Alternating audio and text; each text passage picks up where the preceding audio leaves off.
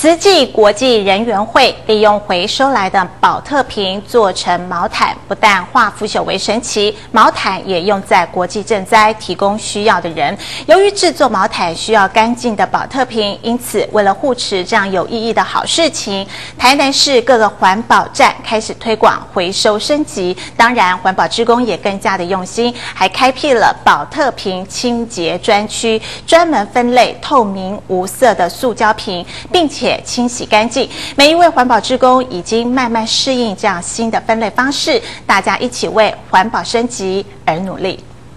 第一个上简单的就是纯水，这拢无垃圾。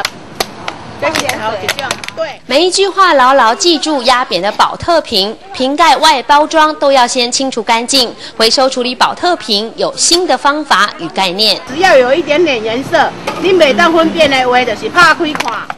保留透明无色的瓶身，比平常分类的确需要增加几道步骤。不过来来来，婆婆妈妈环保志工，大家围围坐，人手一把剪刀，不嫌麻烦，试着慢慢练习上手。因为他们知道，事先处理过、挑选过干净的保特瓶，将能重新制作，成为最实用的毛毯，温暖人心。把它做得很好，然后我们制成毛毯。